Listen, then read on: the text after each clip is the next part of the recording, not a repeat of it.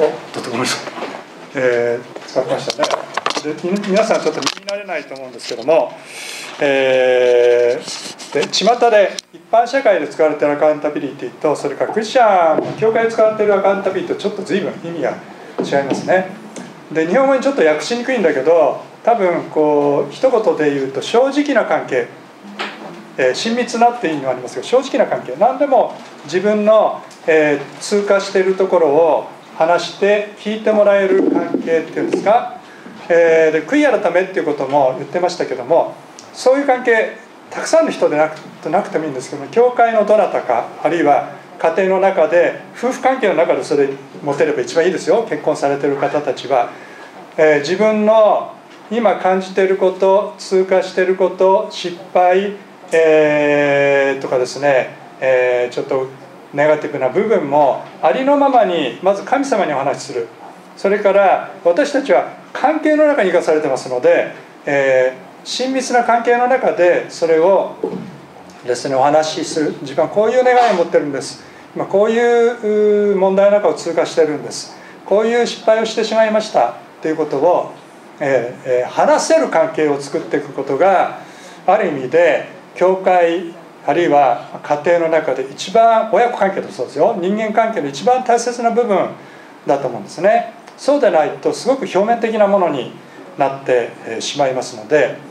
で、えー、こう礼拝の後にスモールグループを持つようにしたのもそういう、え、理由からですね。メッセージを聞いたままでは、えー、単なる授業で終わってしまいますね。でそれを自分の生活に持ち帰って1つでも2つでもそれを適用していくこと。また34人の教会の後のメッセージの後のグループの中であんまりこう立ち入ったこととかものすごく深いこととかっていうふうに、え話しにくい部分もあるでしょうね。でもそこから今度、えー、どなたかですね、えー、本当の意味で1人でもいいですからお二人でもいいですから誰かにこう自分のことを話していただく。私ももちろん私たち夫婦ももちろん聞きますよ何でも。言ってくだされば時間作ってねでも、えー、少数の人たち教会の中の限られた少数の人たちだけではなくてお互いに教会の中に、えー、アカウンタビリティのある、えー、正直に話せる関係を作っていくということが多分一番こう大切な部分の一つではないかなと思うんですね。それはクリスチャンであるかないもしかしたらクリスチャンでなかったとしてもえー、ですよ誰かが1人でも2人でも自分のことを本当の意味で知っている人があいるのであるな分かち合える人がいるのであるならばこんなに、えー、ですね、自殺者の多い、えー、国になっていないと思うんですね。人々はあこう、まあ、孤独だと思うんですまたその結果として自分自身を知ってもらえない話せないがゆえに鬱になってしまったりすると思うんですね。ちょっと話が横道にそれてしまいましたけれども、えー、アカウンタビリティグループまた後々こう少しこう話ししていきたいなと思いますがスモールグループのある意味で発展系みたいな形ですけどね。はい、えー、ちょっと前置きが長くなりましたけども、えー、メッセージに入っていきたいと思います。今日は終わりの時を生きるですね。終わりの時を生きる。聖書はえー、この世界にはこの歴史には終わりがあるというふうにね言ってるんですね、えー、終わりに向かってこの世界は動いています、えー、それからあ私たちの人生にも、え長いか短いか分かりませんけれども必ず終わりが来ますでしょ。それから今日一日もやっぱり終わりますよね。えー、私たちは時間がたっぷり与えられているように見えるけれども終わりに向かって、えー、生きてるわけですね、えー、終わりを意識して生きているのか。ただ生きているのかによって私たちの人生のあるいは生活の優先順位というのは変わってくると思うんです、え、第一ペテロの4章の7節から11節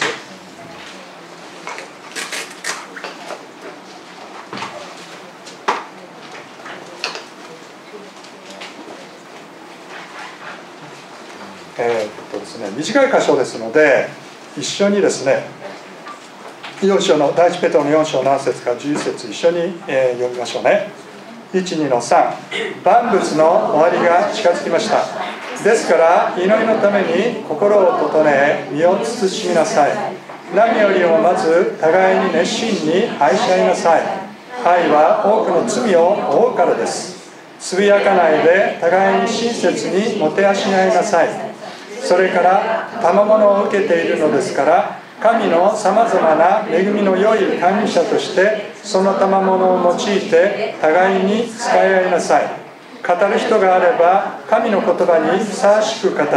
奉仕する人があれば神が豊かに備えてくださる力によってそれにふさわしく奉仕しなさい。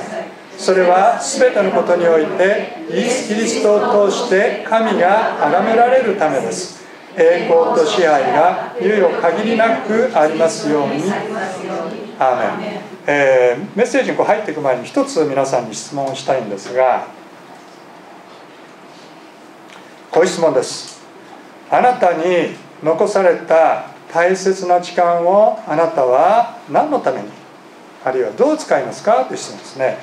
あなたに残された大切な時間をあなたのためにどう使いますか？あなたはどう使いますか？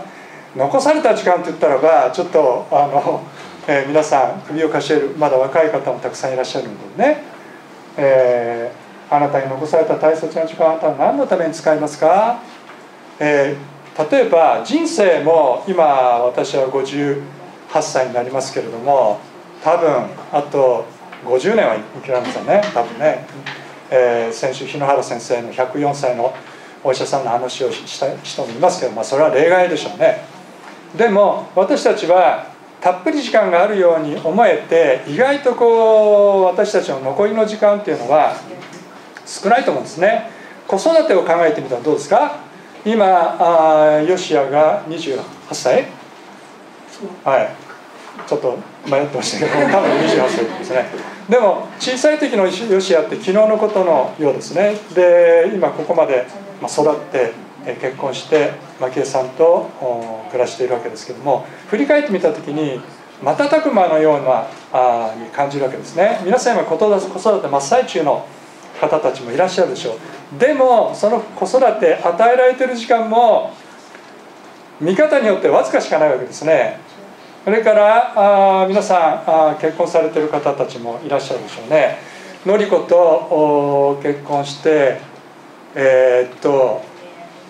40年近くごめんなさい30年近く失礼29年近くなるわけですね。よしは結婚してすぐ生まれたのでね。でそれも振り返ったら本当に、えー、昨日のことのように感じるわけですね。そう感じると私たちが与えられている神様からですよ。与えられている時間っていうのは長いようだけども本当に短い時間しか与えられてない。その時間をどう使っていくかっていうのはとても大切なことですね。終わりを意識しなするということはゴールって話をしましたけどもゴールを意識して生きていくということが私たちの人生の優先順位にかかってくる。何を大切にして生きていくかにかかってくることですね。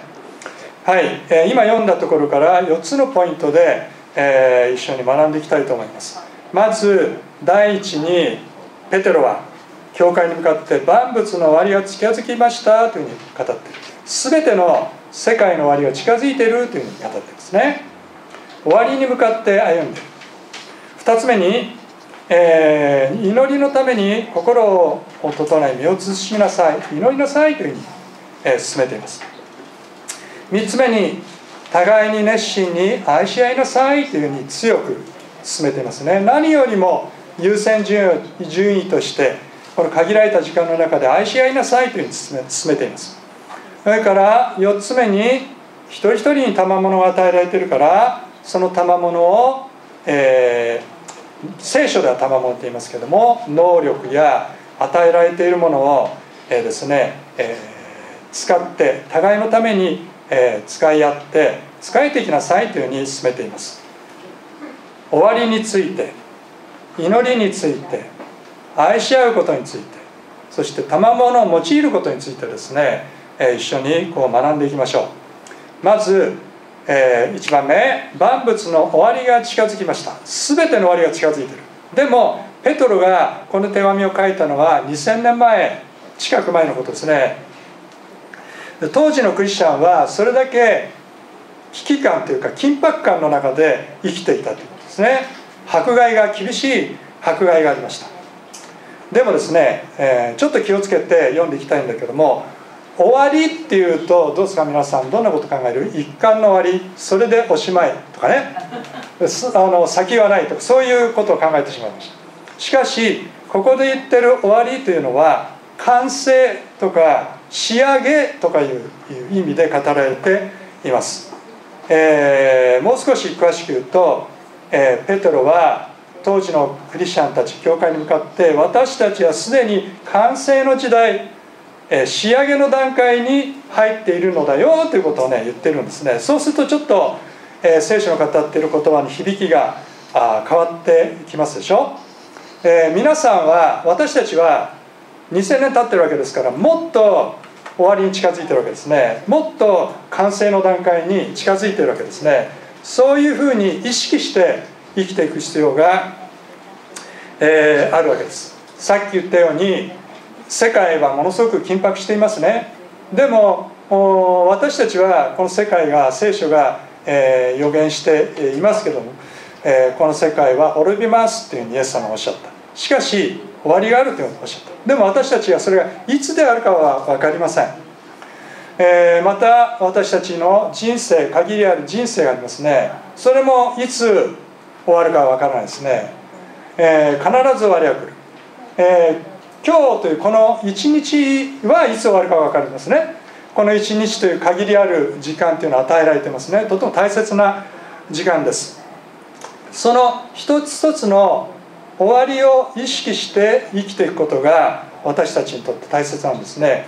終わりを意識していかない生きていかないと生きてたもうたっぷり時間があると思って生きていくのと、えー、限られた時間の中に生かされているというのでは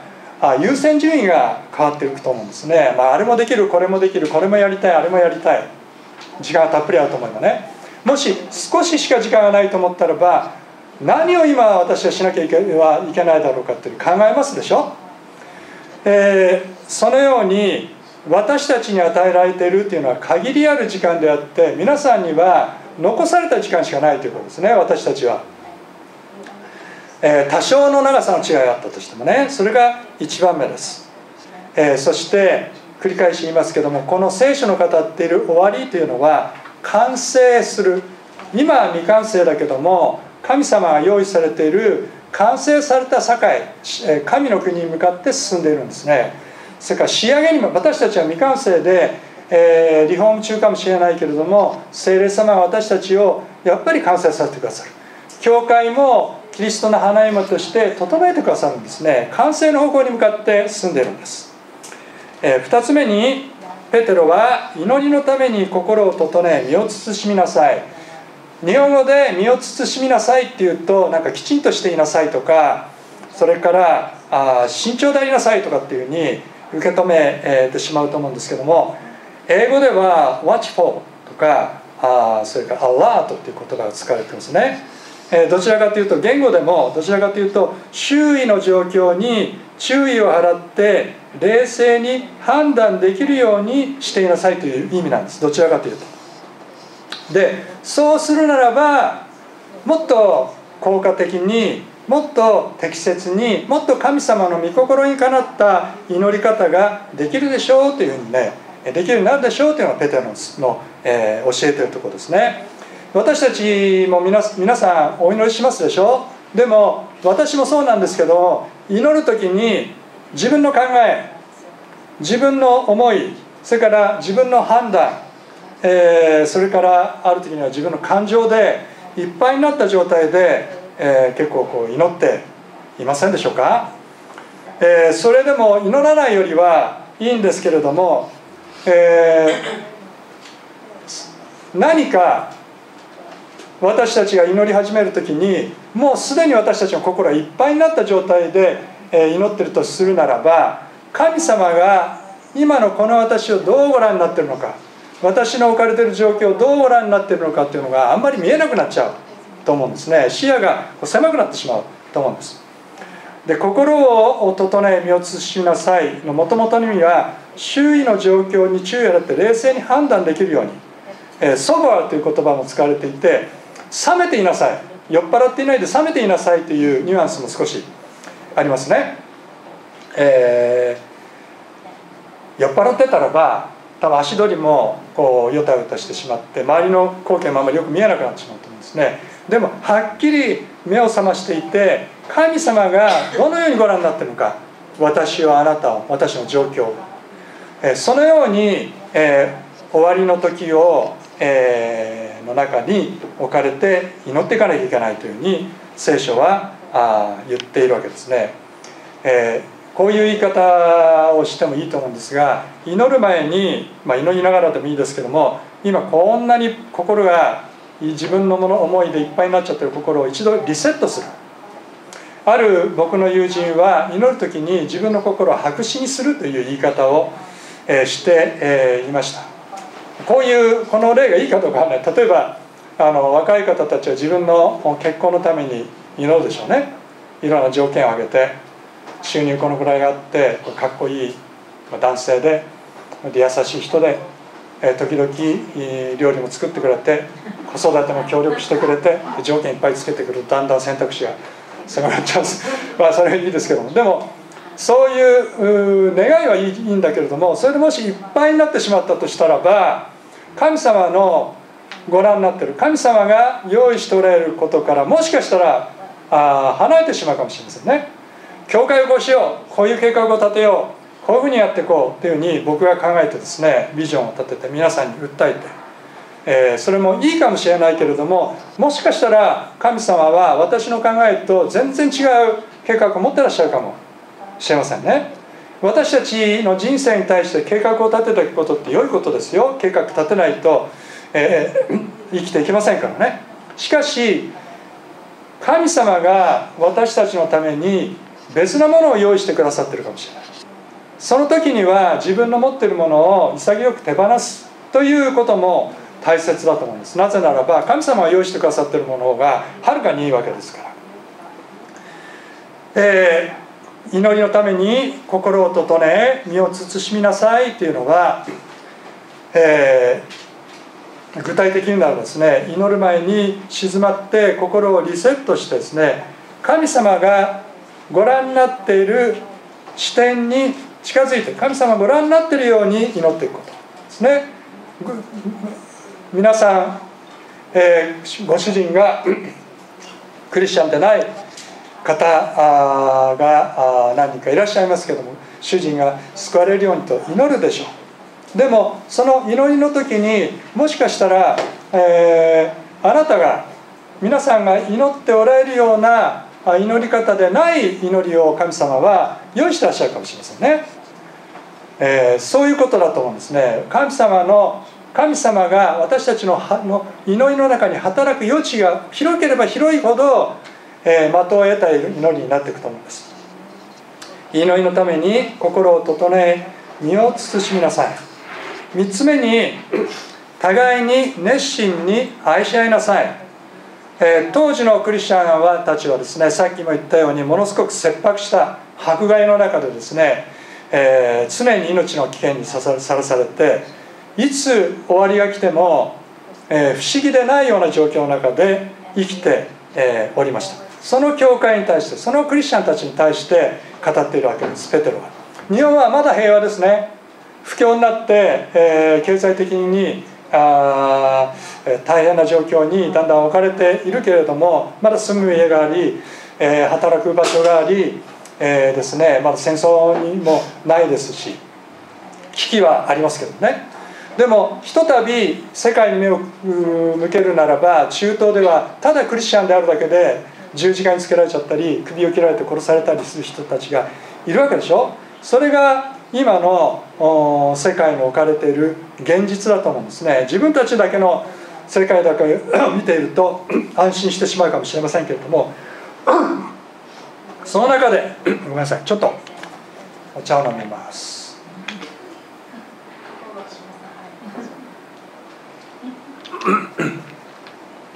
その中でねペテロが教会クリスチャンたちに対してこれをしなさい。ここに心を込めてやってきなさい。真っ先にやってきなさいというのが互いに熱心に愛し合いなさいなんですね、えー、メッセージの中で何度か繰り返しましたけども熱心に愛するって言ったらばちょっと抽象的であるいはこうハードルがすごく高いように感じてしまうかもし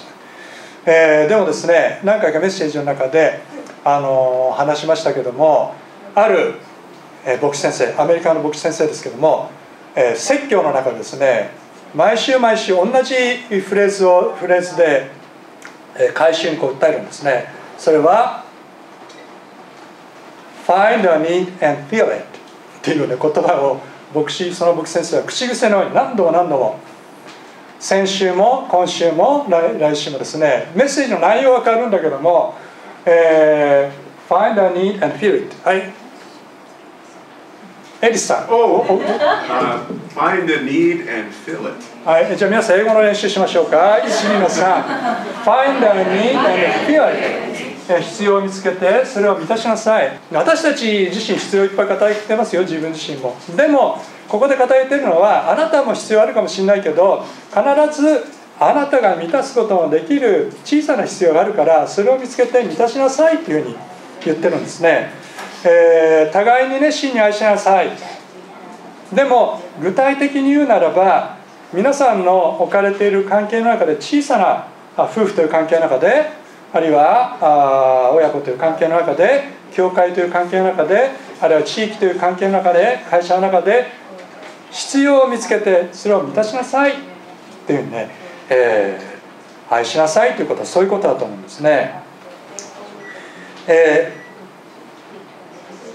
こういうふうに語られてね。愛をまたペトラこういうふうに言ってます。愛は多くの罪を負うからですというふうにペトロは、えー、言っていますね、えー、罪を負うということはどういうことでしょうか？罪を負うというのは臭いものに日本語で臭いものに蓋をするとか見て見ぬふりをするとかそういうことではないですね。ないですね。どういうことかというと愛と許しのあるところには精霊が働かれて罪の自覚が生まれてくるんですね。私たちは逆に考えるでしょ？お前そんなことどうしてするんだよとかさ。どうしてそんな失敗しちゃったの？とか。ダメでしょ？とか。それはあの罪を指摘してる。確かに罪を指摘してるけれどもそうすることによって、えー、指摘された方は罪の自覚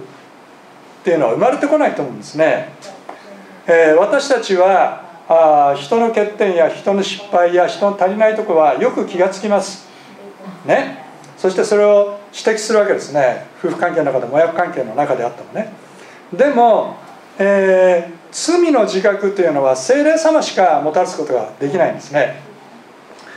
えー、なのでアカウンタビリティのある関係、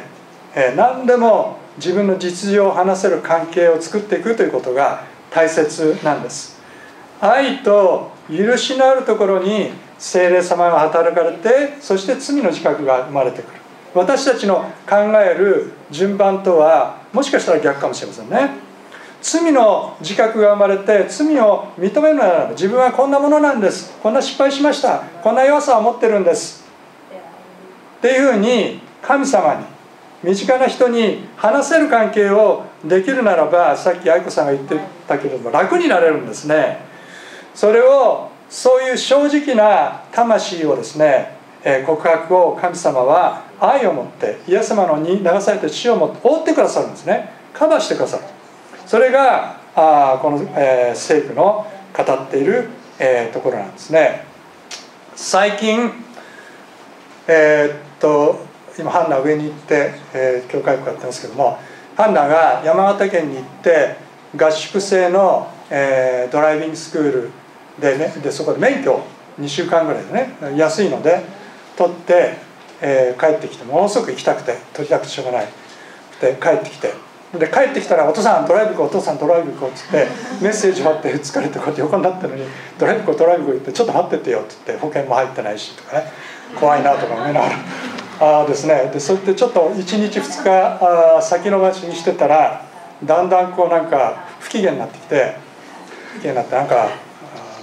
とわがままだなとかね思いながらしかしでもなんとかこう運転する機会も与えてあげたいなと思ったんだけどもプンプン怒ってるわけですね。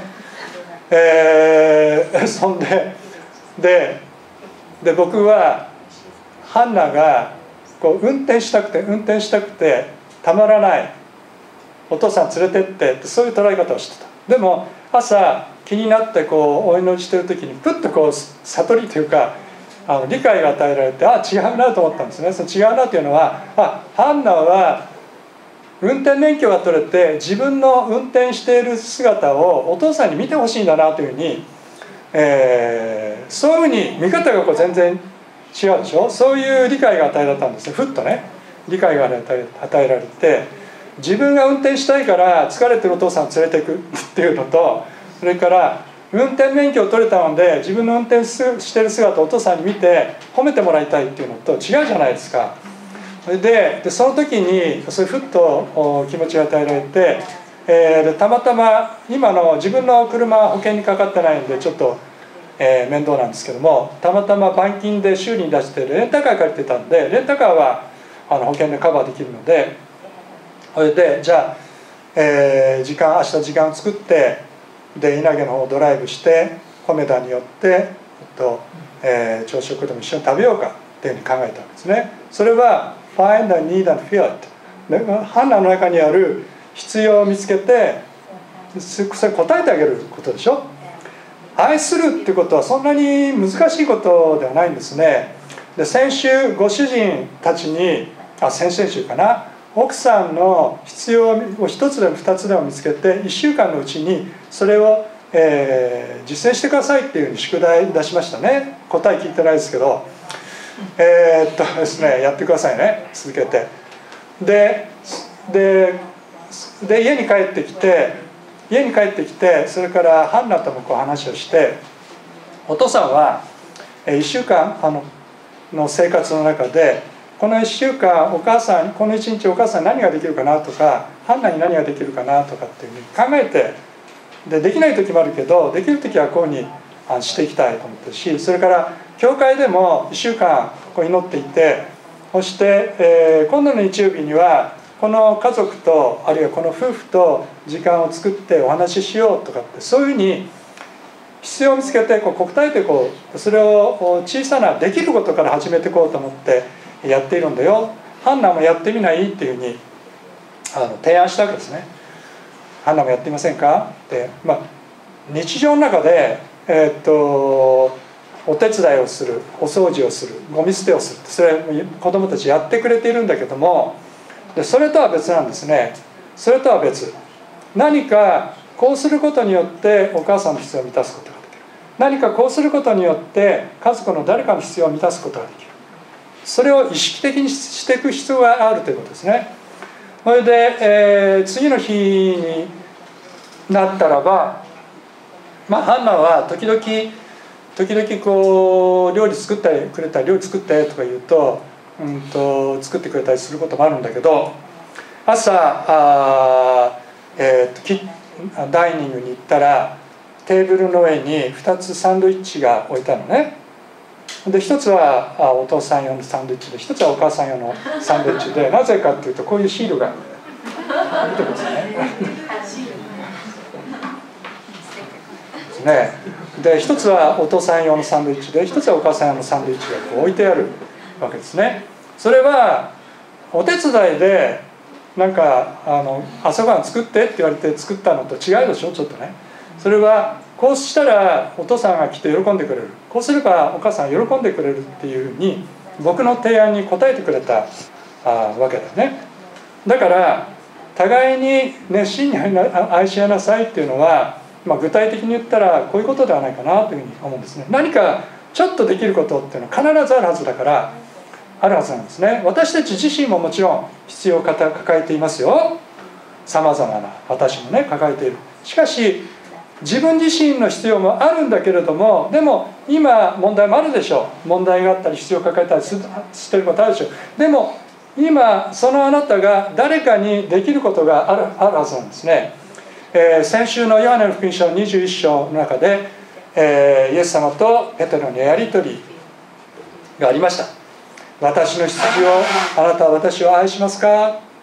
アガペとフィレオという言葉を使ってイエス様は語りましたね。ここではアガパオという言葉が同じ言葉が使われてるんですけども、えー、神の愛を持って、えー、駆け引きの愛を持って愛しなさい。見返りを求めない。愛を持って愛しなさいっていう意味なんですね。なんかお返しを求めるということはなくてね。純粋にこのことがあでもし誰かにこうしたら嬉しいなという気持ちでしなさいということですね。そして、えー、またペトロに対しては「私の羊を飼いなさい」というふうに3回、えー、語られました。羊を飼うということは養うということですね。ある意味でこれも find and need and fill it 必要を見つけてですね羊の必要を見つけて満たしていく。私たちイエス様の必要羊ですのでね。でも誰か牧師だけがリーダーだけがたくさんいる羊の必要必要を満たしていくわけではなくて私たち一人一人が羊飼いの心を持って、えー、妻の必要を満たしそれから子供たちの必要を満たしそれから友人たちの教会の仲間たちの必要を満たしていくことが、えー、できるわけです。互いにって書いてあるよね。私もあなたの必要を満たし満たすしあなたも私の必要を満たすそういう関係が多分家庭の中で教会の中で一番大切な部分だと思うんですね。メッセージよりもですね。メッセージよりも何かの伝道活動よりもですね。何かのイベントよりもですね。何かの奉仕よりも愛するということ。使えるということ。必要を見つけて満たしていくということが何よりも大切だからそれをしていきなさいというふうにペテロはあ教会のクリスチャンたちに対して語っているわけです。えー、私たちにできることは限りもあるでしょう。能力も限りがあるでしょう。でも教会につながる神の家族の必要を見つけてそれを満たすことは皆さんできるんですよ。えー、何かあなたにできる小さなことがね必ずあるはずですね、えー、4番目にペトロは、え、それぞれが賜物を受けているのですから賜物を用いて互いに使い合いなさいというふうに語っています。賜物と訳されている聖書の言葉ギリシャ語ではカリスマという言葉が使われているんだけど一般的にカリスマっていうとカリスマ美容師とかカリスマドクターとかそういう意味に特別な人っていう意味になっちゃうね。でも聖書の語ってるカリスマっていうのは贈り物という意味なんですね。プレゼントという意味です。プレゼントなので皆さんがお金を払ってとか何かの引き換えにいただいたものではなくて神様が一方的にあなたにくださったものなんですね。私たちにくださったもの。そしてそれぞれがっていうふうにペトラ語ってることは例外なく一人一人にえー、ユニークなうん賜物が能力が与えられているということですね。ただしこの賜物カリスマは自分だけのために使うことはできないですね。世の中で能力がある、えー、と言った時ギフトがあると言った時にそれはだって素晴らしいこう、えー、音楽家がいてそしてえー、コンサートでそれを演奏してですね評価を受けてですねその、えー、あるいはものすごく有能なビジネスマンがいて、営業成績を上げて競争競争社会を勝ち抜いていって会長さんになった社長さんになった大きな会社を立て上げた。能力世の中の能力の評価っていうのは何かが達成できてその人がその賜物はその人の評価になるわけですね。でも聖書の語っているカリスマ贈り物というのは自分のために使うことができないんですね。なぜならば、え、神のさまざまな恵みの良い管理者としてその賜物を用いて互いに使い合いなさい。限定された使い方しかできない。お互いの必要を満たすためにしかその賜物というのは使うことができないんですね。でも使い始めるならばえー、11節に書いてる2つの例書いてあるんですね。神の言葉を語るというの奉仕すると2つの例書いてありますけども、神が豊かに備えている力によって力によって書いてあるように小さな賜物だと思っても小さな能力だと思っても神様のえー、御心の中でお互いの必要を満たすために使い始めるのであるならば豊かに使ってくださる。自分が思った以上のえ成果が得られるということなんですね、えー、ある、えー、若い牧師先生に4歳の女の子がいました。で、えー、この牧師先生は、えー、ガードニングが好きでで、まあ、広いお庭をですね自分でよくこう、えー、手入れをしていたんですね。で、えー、その日はあですね庭に石のこう階段を石っつっても一つの石が50キロも100キロもあるような石をですねこう作っていったわけです。で、彼の彼の4歳の女の子がお父さんの、えー、働いてる仕事してる様子を見てですね仕事を見てですねこういうふうに言ったんですね「お父さん私も手伝いたい」って言ってそういうことなんですがお父さんやお母さんのやってることを見てちっちゃい子って手伝わせてって言って帰って邪魔になるのにね。手伝わせてっていうふうに向こう行ってなさいとかってよく言われてませんでしたか、えー、分からないけど。ね。で,、えーでまあ、このお父さんとても優しい、えー、お父さんだったので、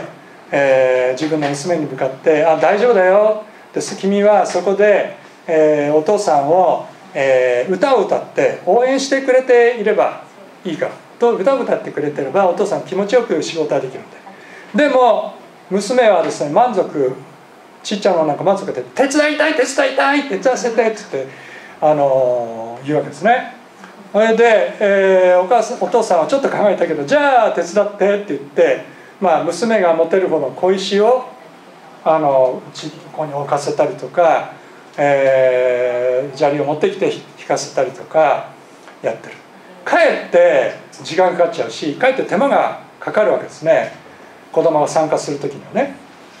えー、多分一人でやってれば一人でやってれば34時間で済んだものをその倍ぐらい時間かかってお父さんやっと仕事が、えー、終わりました。でもですね、えー、仕事の成果や時間や効率から考えたらば自分一人でやってる方がはるかにいいわけですけどもお父さんはすごく、えー、その仕事をやり合えた時に「お母さん来てお母さん来て」って娘が叫んで大きな声でお母さんはあ台所の勝手口から出てきて「どうしたの?」って言ったら「見てこれ私とお父さんが一緒に作ったの」っていうふうに自慢してるわけですね娘はね。えー、でお父さんはその娘の笑顔を見てすごくこう、えー、嬉しく思うんですね。私たちは神様の目から見たらちょっとしかできないあるいは足手まといになるような存在かもしれませんね。でもこういう私たちをヨハネの福音書ずっと読んできたでしょ？弟子たちどうしようもない弟子たちだったじゃないですか。イエス様を見捨てちゃったりこれから、えー、とんでもないことをしたり失敗もしたり、えー、でもそういう弟子たちをあえて弱さを持った弟子たちをイエス様あえて選んで、えー、神の国の働きを彼らに委ねていったわけですね。私たちはこういう皆さん自分自身を見て何か誇れるものがありますでしょうか、えー、多少能力があったり多少経験があったりするかもしれない。でも神様の目からご覧になった時にはそれはさっき言ったように4歳の女の子が、えー、お父さんの周りでえー、小石をいじったり砂利をいじったりしてるようなものに過ぎないと思うんですね。でも神様は私たちのお父さんそれを喜んでくださるんですね。私たちをパートナーとして喜んでくださるんですね。それそれはとっても私たちにとっては不思議なあことです。私たちがペトロが言おうとしてるのは私たちが目を覚まして祈り始める時に互いに愛し合う時に必要を見つけてそれを満たそうとする時に神の力によって賜物を用いて使い合う時にそこに神様の栄光が現れてくるとですね。それが聖書の語っている原則ですね。その原則というのは夫婦関係の中にも親子の関係の中にも家庭という関係の中にもこの教会という関係の中にも、えー、生かされていかなければいけない関係なんですね、えー、必要を満たし必要を見つけてそれを満たしなさい。終わりの時をどう生きるか。私たちの残されている時間をどう生きていくのか。私たちの優先順位はどどこにあるのか。最初の質問を思い出してくださいね。あなたに残された大切な時間をあなたは何のために使いますか？今日一日を何に使いますか？できることが必ずあるはずなんですね。お祈りします。主な神様ありがとうございます。私たちは終わりの時に生かされております。祈りのために心を整えなさい。互いに熱心に愛し合いなさい。賜物を用いて互いに使いなさい。主をどうぞ私たちの心にあなたが精霊として進んでいてくださることをありがとうございます。私たちは賜物は小さいです。私たちは力のないものです。失敗もたくさんします。しかしそのような私たちをあなたは手に取って豊かに用いてくださる方でありますからありがとうございます。感謝をいたします。お一人お一人を豊かに用いてください。イエス様のお名前によってお祈りいたします。